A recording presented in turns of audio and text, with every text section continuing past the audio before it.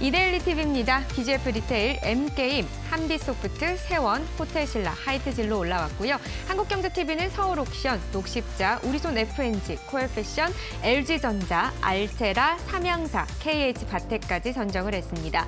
매일경제TV는 BNK 금융지주, 현대백화점, 나우아이비, 이마트, 참 좋은 여행, SNK까지 담았네요. 자 마지막 MTN입니다. 네이버 들어왔고요. GS 리테일, 고려아연, TLI, DL E&C, LG 생활 건강을 담았습니다.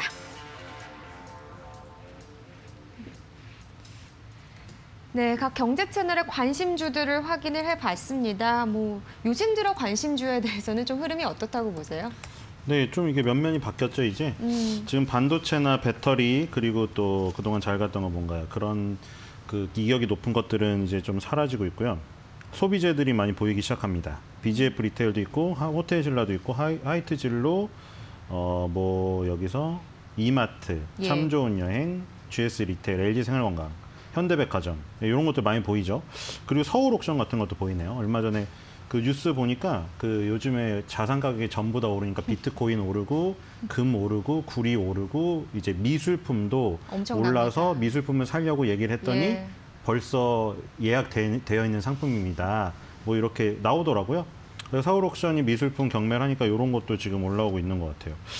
그 전에 있던 것들은 좀 거의 보이질 않네요. 음. 그 전에 삼성 SDI, 뭐 SK 이노베이션, 그러니까요. 포스코 케미칼 뭐 이거 많이 있었잖아요. 저- 완전히 지금 사라졌습니다.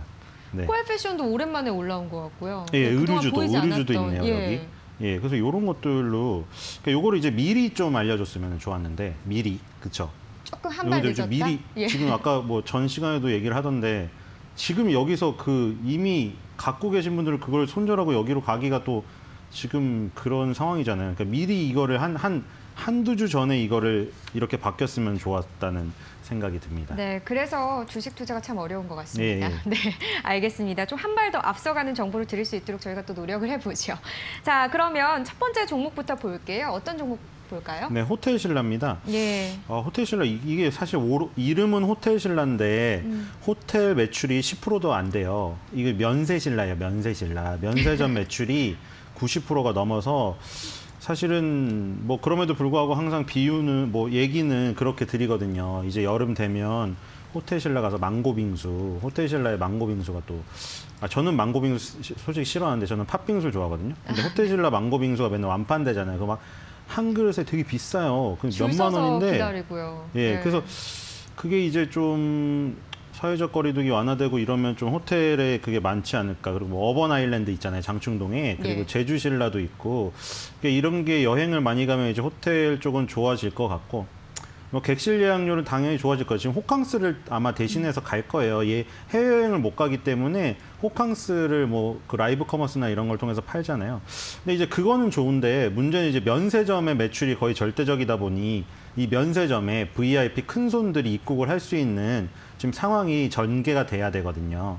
그러니까 자가격리 이주를 하고까지 놀 놀기에는 좀 그래서 그래서 중국에서 하이난 면세점이라고 하이난 섬에 예. 중국의 제일 남단에 있는 거기 하이난이라는 섬에다가 통째로 그냥 면세점을 엄청 크게 세워서 자국민들이 거기 가서 사면 굉장히 혜택을 많이 줘버려요. 그러니까 우리나라 지금 입국길이 막힌 사이에 중국 자체 면세점이 너무나 커버려 커져버렸어요. 그래서 아모레 퍼시픽이라던가 지금 FNF라던가 이런 그 의류 화장품 회사에서도 하이난 면세점에 입점을 해서 우리나라 면세점 그 입국 그게 막힌 거를 조금 풀고는 있거든요. 예. 그래서 그거는 좀 장기적으로 좀 안 좋은 점이에요. 하이난 면세점이 커져버리면 혹시나 중국인들이 나중에 이 사태가 풀리고도 우리나라. 제주도나 예. 우리나라 서울을 안아버릴까봐. 근데 제 생각에는 한류 열풍이나 이런 것들이 있어서 음.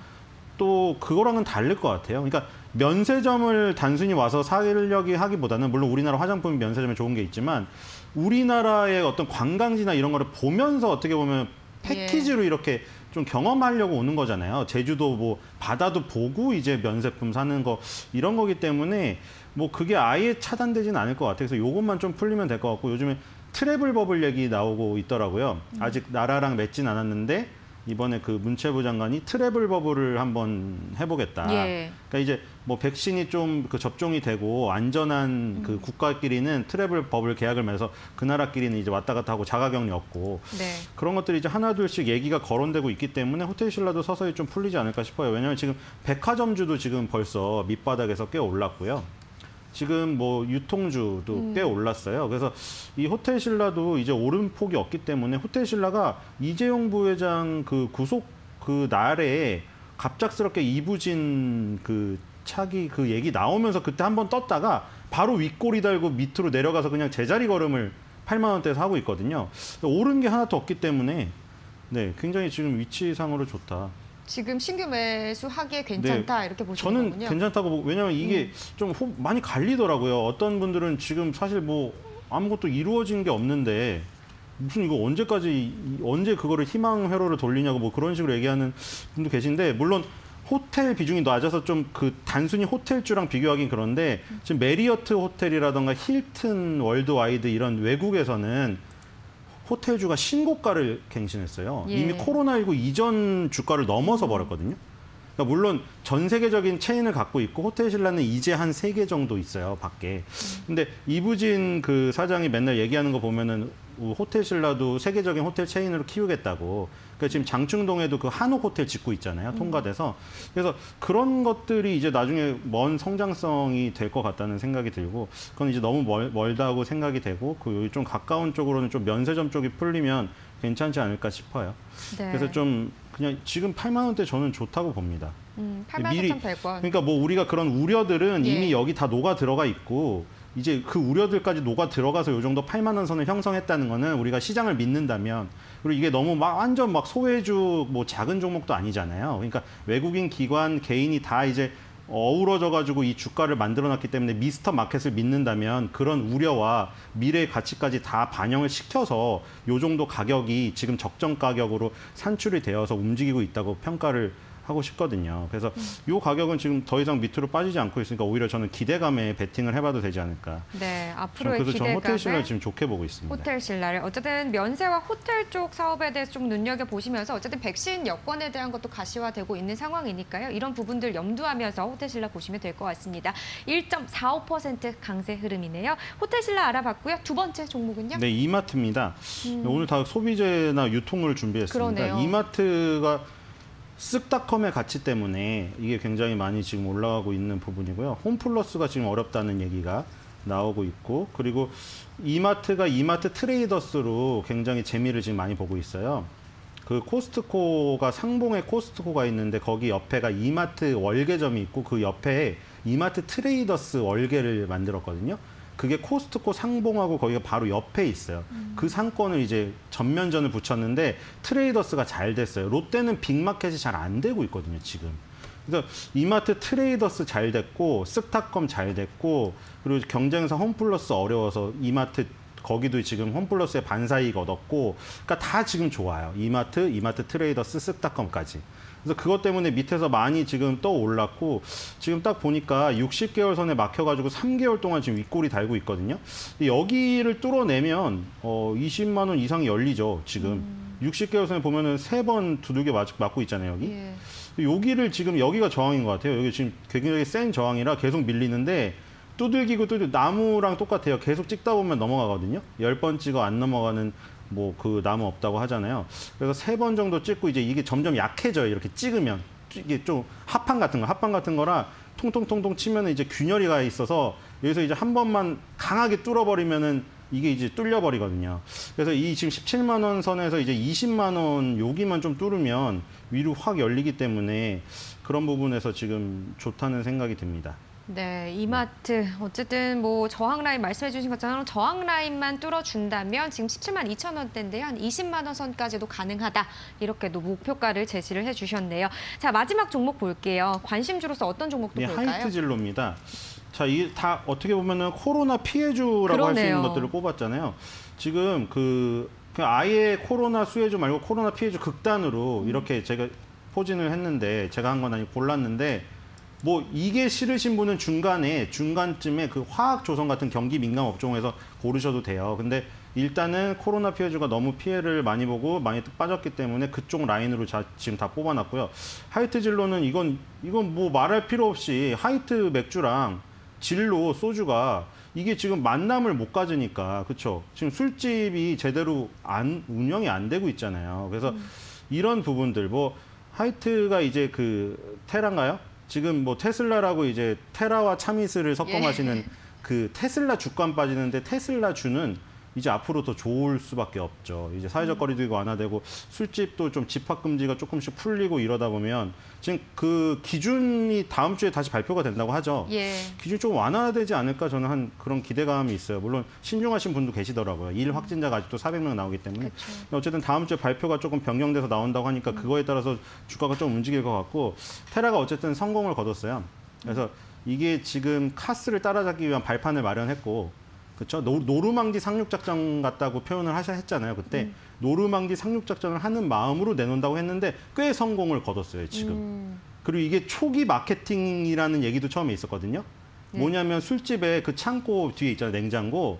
거기에 처음에 이 테라를 넣을 때 인센티브를 많이 주죠. 왜냐면 그 술집 주인 아주머니나 음. 아저씨 입장에서는 새로 들어온 거를 넣어줄 이유가 없잖아요. 그쵸. 검증이 안 됐는데. 예. 그러면 예를 들어 한두 박스를 더 줘요. 그럼 음. 이제 까는 거예요. 그러다가 이제 조금 잘 나가면 이제 정식으로 까는 거죠. 근데 테라가 그 시점은 지났거든요. 이미 1년이 지났어요. 1년 동안 마케팅을 해, 마케팅 비용을 썼는데 그 뒤에 계속 잘 됐기 때문에 정착이 됐다고 생각이 되고요. 이제 사회적 거리두기 완화 요것만 되면 이 술 주식도 굉장히 좋은 흐름이 보일 거로 생각이 되고 그래서 4만 원을 넘어서서 한 4만 5천 원까지도 어. 슈팅이 나올 가능성이 있습니다. 네, 높게 보시네요. 지금 4만 7천 원대 4만 5천 원 선까지 본다. 어쨌든 하이트 진로 마케팅 참 잘하는 것 같습니다. 뭐 주류 캐릭터 숍도 있고요. 다양하게 좀 관심 가져보시면 좋을 것 같네요.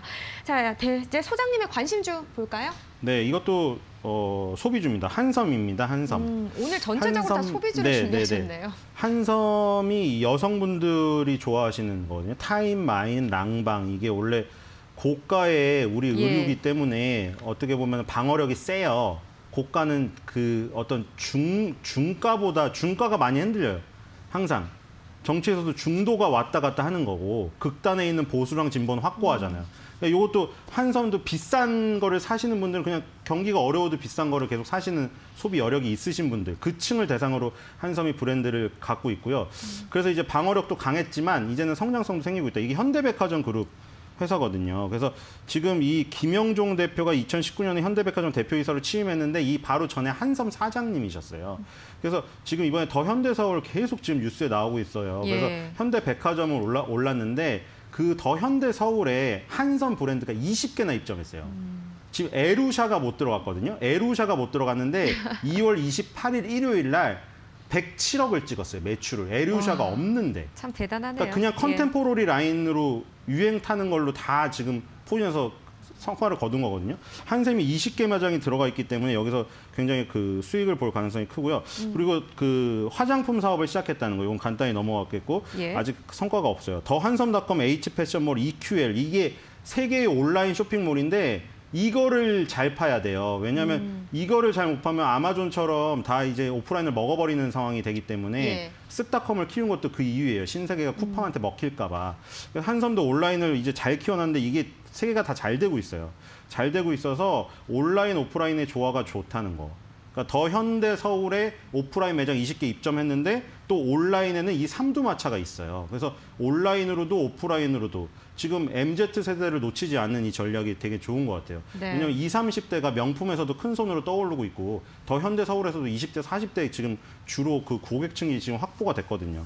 그러니까 그쪽을 공략을 해야 되는데 한섬이 한섬이 옛날에 그 고, 예, 고가층을 버리고 잘 지금 그 믹스를 한 것 같습니다. 예. 그래서 목표가는 5만 원이고요. 손절가는 3만 7천 원으로 잡았습니다. 알겠습니다. 목표가는 5만 원, 손절라인 3만 7천 원 선으로 잡아주셨고 어쨌든 소비주에 있어서 오프라인과 온라인 이 두 가지를 같이 잡을 수 있는 이런 기업들을 좀 눈여겨보시는 것도 좋을 것 같네요. 한섬 알아봤습니다. 오늘 말씀 여기까지 듣겠습니다. 고맙습니다.